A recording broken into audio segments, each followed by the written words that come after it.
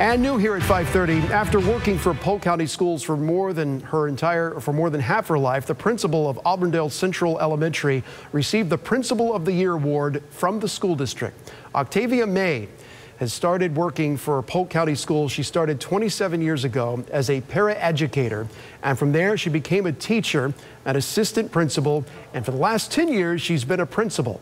Octavia was even an administrator back in 2014 for the same school that she integrated in the late 1970s.